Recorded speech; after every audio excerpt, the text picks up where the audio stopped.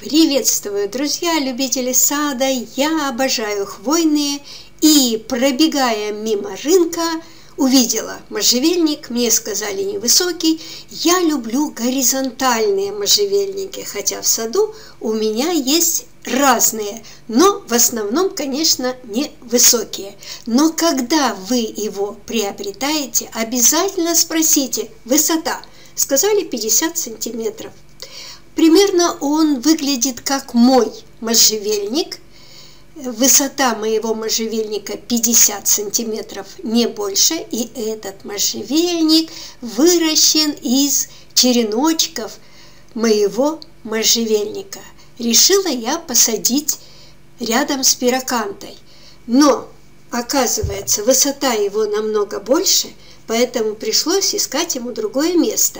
Здесь у меня посажен кипарис из семян. Семена привезла с Корсики, уже пятый год растет кипарисик, и вот на этом месте будет прекрасно смотреться этот можжевельник. Растет у меня злак, но я его убираю, мне он не нравится. Сейчас я подготовлю эту территорию для посадки, то есть надо убрать всю сорную траву и уже покажу, как буду сажать. Участок готов, но важно примерить это растение, делать лунку только тогда, когда вы поймете, что на достаточном расстоянии растение будет посажено. Кипарис будет расти вверх, а у подножья будет возвышаться прекрасный можжевельник. Купленный можжевельник постепенно займет довольно большую площадь. У меня сейчас пироканта здесь, злак, но злак я пока оставлю, пироканту я тоже уберу а вот это купленное растение займет где-то 2 метра на полтора.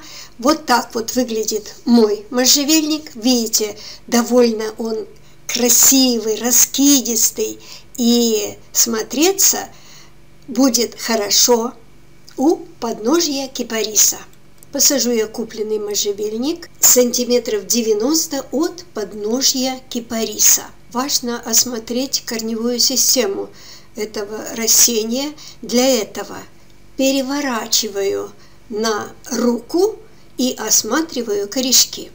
Оказывается, растение росло где-то отдельно, и его просто посадили в горшок для продажи. Оголенные корешки оставлять надолго нельзя. Я думаю, что все с корешками хорошо, и буду сажать по уровень корневой шейки, точно так же, как было посажено это растение. Лунка вырыта, и вы видите, что где-то сантиметров 30 на 30 укладываю можжевеловые череночки, срезанные при обрезке весенней моих можжевельников.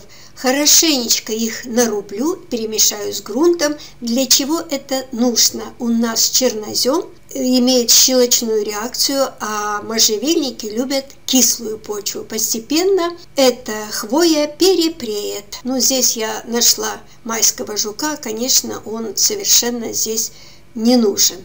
И теперь сажаю.